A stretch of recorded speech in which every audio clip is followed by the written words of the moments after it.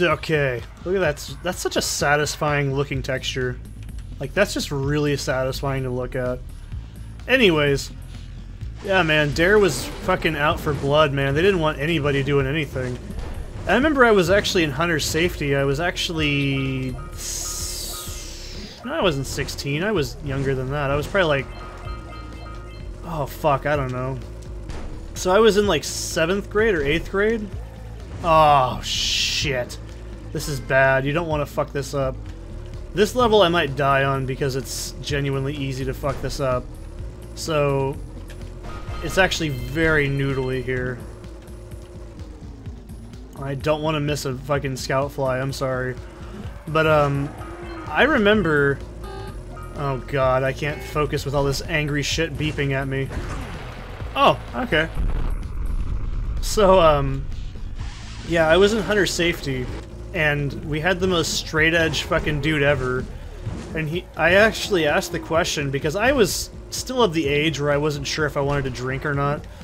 And um, I asked, so what happens? Because they were talking about how you should never, ever, ever, ever, ever, ever have alcohol ever. And so I was like, what happens if you want to go with some friends and you like just want to have a beer? And I remember this clear as fucking day. And he literally, he's like this really short old boomer guy who's got like pink skin because he's got like suntan problems and shit. And he's like, he he's really fat. God damn it! Uh, so he's really chunky, and he he looks at he looks at me, and he's got this like narrow-eyed expression, like you know when someone's gonna say something like they're hesitant about, and he looks at me, and he I can I swear shit you not he said these exact words they have resonated with me to this day. I couldn't make this shit up. He says, and I quote, "The strongest thing you'll find in my cooler is Diet Coke." I'm not kidding. He fucking said those exact words, and with uh, with straight face, fucking squinted eyes, like I had just said the worst thing ever, and that was how he responded. Strongest thing you'll find in my cooler is Diet Coke. I am not kidding. That is a real thing that happened to me when I was like that young. Oh my god. And I I remember my dad, he actually laughed after that because my dad was sitting in because he was dropping me off. And he's like, that guy's full of shit, dude. That guy looks like he's probably got, like, at least a bottle of Jack in his fucking cooler. And I was like, yeah, Dad, you're probably right. But I swear to God, that's like the level of, like... So I always... Here's another good one. When I was in school, I actually want to be a parent, you know? And so people... I'd be like, so what happens if you actually want a kid? And they're like, well, uh, you should always have abstinence. And I'm like, well, what if you want children? And then they're like, well, uh, you know, abstinence is the best thing. Wait, wait till you're married. It's like, okay, cool. Like, people wonder why my generation's so fucked and stupid. It's because the people before us couldn't give us any fucking concrete answers to anything. You ever think about that? I don't know, man. That's just me. So, fuck, I don't know. It was a clusterfuck growing up. I don't know why that, that sound effect keeps happening. Anyways, this is the Yellow Sage's lab, apparently.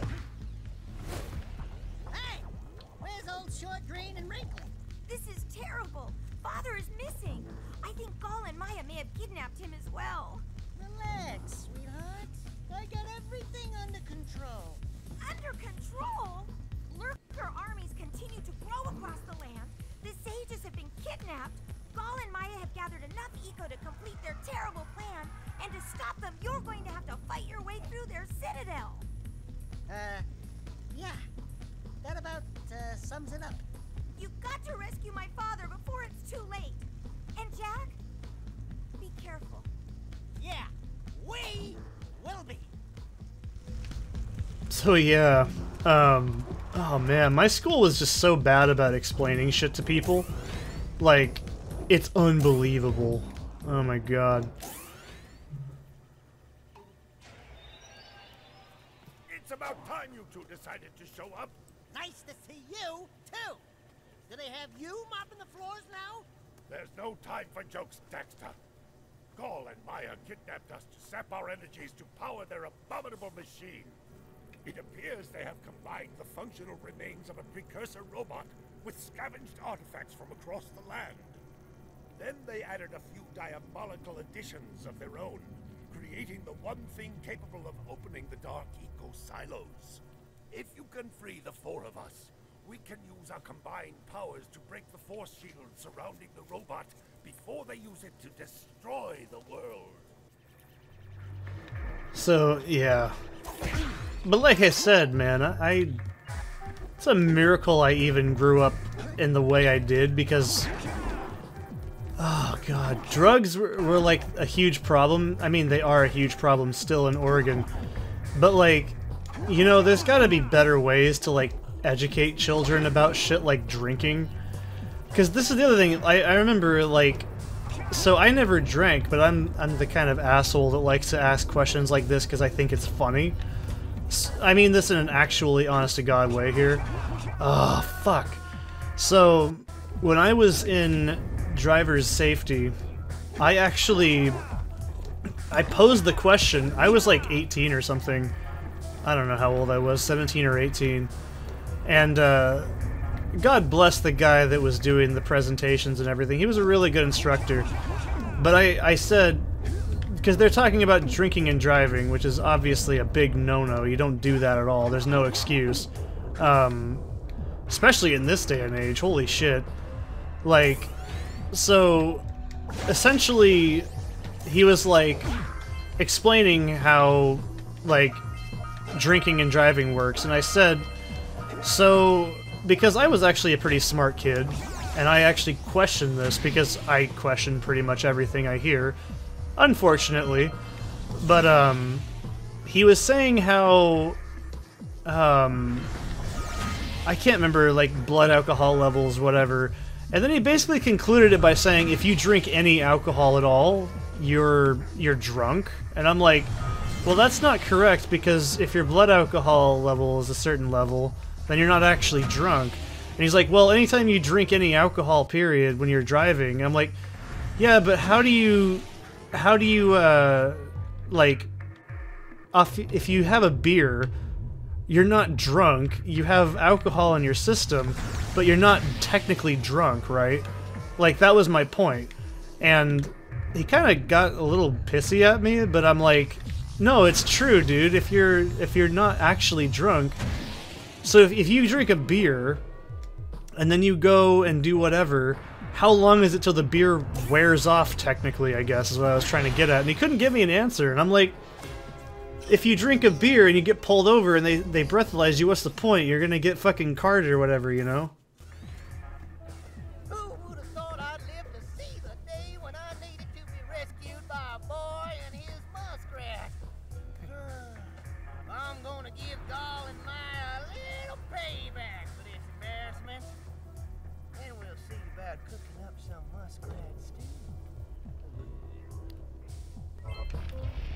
Know, it's it's one of those things. It's like when you hear it, it may sound stupid how I'm trying to explain this, right? So, okay, let's say I drank a beer. All right, let's say I drank a beer. I don't drink at all, but let let's say I drank a beer. Am I allowed to drive? If I wait like two hours, am I allowed to drive? There's no definitive answer. Like, to any of these questions, and it, it really bugs me. Maybe it's because I'm obsessive compulsive, and a lot of the shit that goes through my head just makes me question things way too much. Like, oh fuck. Um, like to me, there's always some sort of ulterior motive. That also might be because of trauma, but um, you know, okay. So let's say you drank uh a beer and you wait four hours. You fucking sit there and you become the pinball wizard. If god damn it, I gotta stop doing that. It doesn't work. I don't know why I keep trying it. Um, so if you're okay, you're the pinball wizard for like four fucking hours. Okay, can you drive? Are you are you allowed to drive after that? Is that okay? Like, can you function? Is is that considered okay? If you drink two beers and you wait six hours and you're are you still drunk? Because they're like, oh, beer stays in your system for 24 hours. And I'm like, everything stays in your system for 24 hours. You can't bullshit somebody that was in fucking chemistry and got an A in it as an elective choice. Okay, that's not that's not how chemistry works. Like, okay? So if the alcohol the alcohol if the alcohol decays, what is the speed based on your metabolic rate that a beer can be consumed and you can do normal functions, right? That's what I'm trying to get at. Like, there was no clear answer because they just said don't drink ever. And I'm like, well, fuck, what if I do drink and I want to know what I'm doing and I actually don't have a method of getting back? What am I legally allowed to do and how long do I wait? And they couldn't give me an answer. And it really burns the shit out of me. It's stuff like that that actually makes me angry because it's like, okay, there's got to be some fucking basic like math chart because there's a fucking thing that shows you how like alcohol affects people. What about the decay? How long does it stay in your system? That's my point, right? You don't just stay drunk 24 fucking 7. The alcohol's in your system. It goes out when you pee like technically after it's filtered through your kidneys and your liver. That's how science works, right? So, what the fuck? Why why could no one ever give me a solid concrete answer as to how like much time needs to pass before you can continue to be a normal human being in society? And I'm not saying, by the way, you should just drink and drive. That's fucking irresponsible and stupid. But if you were, let's say you're just with a friend and you drink one shot of the weakest piss water whiskey you've ever had in your life, are you drunk? Are you allowed to drive? It, I know I'm making it sound like a muddied issue, but it really bothers the hell out of me. Like, this genuinely doesn't make sense. I'm dead serious. That fucking shit never... Oh, it just really gets on my nerves. It's not even the worst example I can think of, too. Ugh.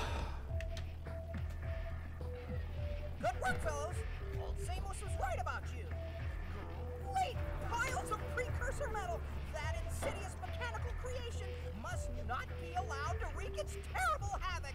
I will try to actuate the shield door by eliciting a conduit of energy between myself and the vast portal below. Uh, yeah. You do that. We'll, uh, just go find more help. Weirdo! So yeah, that you see why it really, really creeps me out. Okay, here's another good example of my roundabout fucking weird thinking. So, okay, when I was in school, I've probably actually used this example on the channel before, but I'm gonna go, this is why I'm like, you know how much it really actually sucks to have real OCPD? So, okay, when I was in school, they told us, you know, if you if you're married, you'll just never have STDs. I'm not even exaggerating. If you're married and you use condoms and birth control, you will always never ever ever ever ever have STDs. Because logic, right? Now, that's bullshit, obviously. Oh shit. What is what is texting me? Oh, it's just a thing about my internet bill being paid soon. That's nice. Um, okay. This is one that's really annoying to me. So, STDs are generated how? What generates an STD? Don't be like, oh, it comes from sex. Well, no shit, that's why it's called a sexually transmitted disease. My point is, what causes things like fucking chlamydia or crabs? Okay, crabs are actually lice, so that's I can kind of understand where that one comes from. You know, you you get like your junk bit by something that's I've already been here. Um, so yeah, I'm not that stupid, right? Like I know that. But okay, chlamydia, for example. Um, what creates that? Like, how does that happen in your body? Obviously, you get chlamydia from sex, right? I'm not stupid. I'm I'm pretty well aware of that. But my point is, by the way, I've never had chlamydia. My first girlfriend did before we were together. But um anyways, so I'm a horrible person, I know. Um That's that's probably why that's always the go-to disease for me, actually. Um, so okay, but here's my point. What creates that in your body? Is it a fuck up between two fluids interacting with each other? Is it something like your body rejects its like immunosystems like AIDS? Because I know how AIDS works. AIDS is a immunoresponse failure that causes bits of your body to start like fucking not working. Like your immune system basically shuts off. And but that's the thing is chlamydia caused by like what? What the fuck causes it and how you see what I mean? And no one ever explained this to us as kids. I just don't get it. Well, okay, if I can't, how do I get it? Do I just not shower for 70 years and put fucking like vinegar on my balls to get rid of it? How do I get rid of it? Well, like, you take medication, you know, that's pretty obvious. But my point is, okay. Ooh! That was a dumb dumb moment, I'm sorry. Um, it's because I'm thinking about sex. Um, so, okay, right, so, okay, I'm a STD-free... Jesus Christ. It's not that sentence that made me laugh, it's the fact that I associate the word something free with Chris Chan. But, um, okay, so I'm an STD-free... I, I can't say the sentence without laughing. Um, um, I gotta collect my shit. Uh, I'm, I'm losing it. I'm losing my shit a little bit. Um, alright, so if you're an STD-free person... it's funny, I can't help it. Um, if you're STD-free, you're HIV negative, right? Um, how is it that you just get chlamydia, specifically chlamydia, from unprotected sex? If the other person's STD-free, what creates it? What is it? What is it in the body that creates that? Is it immunodeficiency response? What is it? Because it's I'm not looking this up, but um, my point is a teacher could never explain that because they basically only made it out to be that only people that have unprotected sex and are not married will develop STDs and STIs, which is complete bullshit. My parents had STDs. But that was a different story. That's because my dad cheated on my mom, and my mom cheated on my dad. So, that makes sense. But what causes it? Is it a body thing? We're not together, we're not married. Disease. I don't get it, man.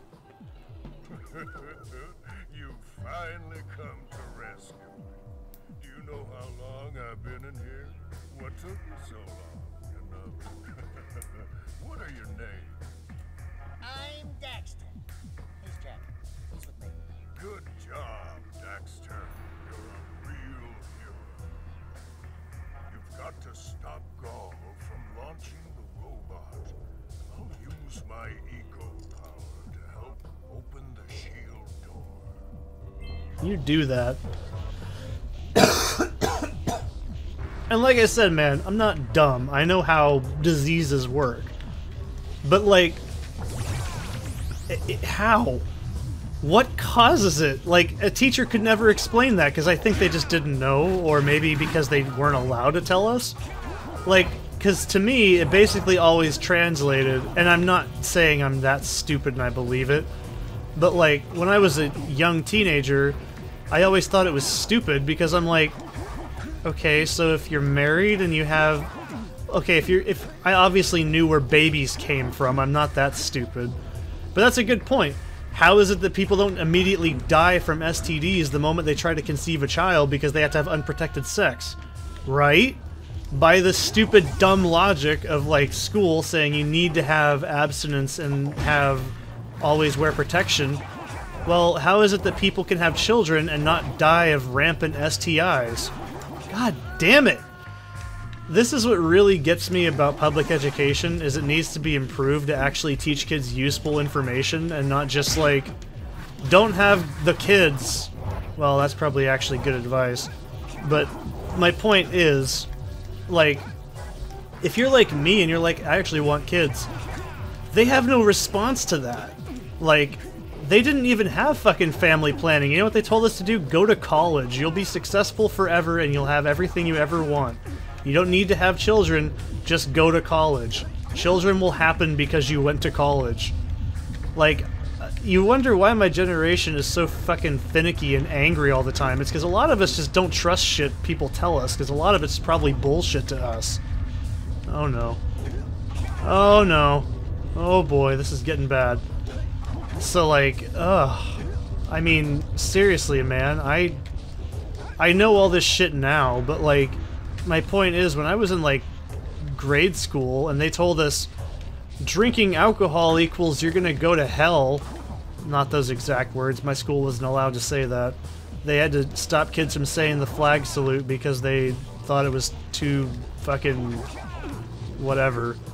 But like my point is, I don't understand why fucking public education is so poorly equipped to deal with like you know basic shit that kids can ask like oh little johnny wants to know where babies come from and can he have children in the future tell him no you're too young. You'll, well obviously yeah.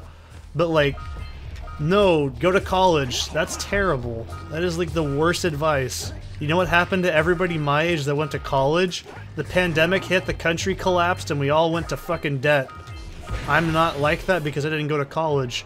So, what's that say about me? Someone had some fucking foresight for once.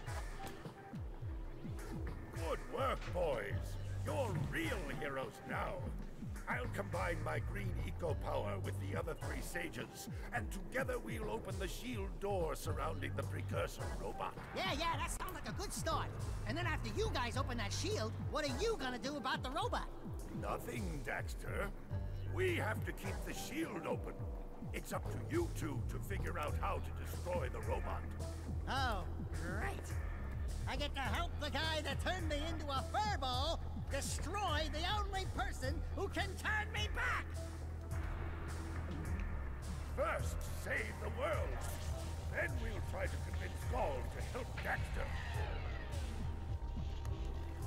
You're too late, Samos. Once I possess limitless Dark Eco, I will have the key to creation itself. This is madness! Releasing that much Dark Eco will destroy everything we know. Just look what it's done to you. It has given us a beauty beyond anything you could understand. Have you two looked in the mirror lately? Gol's pretty red and Mai's pretty damn dope looking, not gonna lie. Just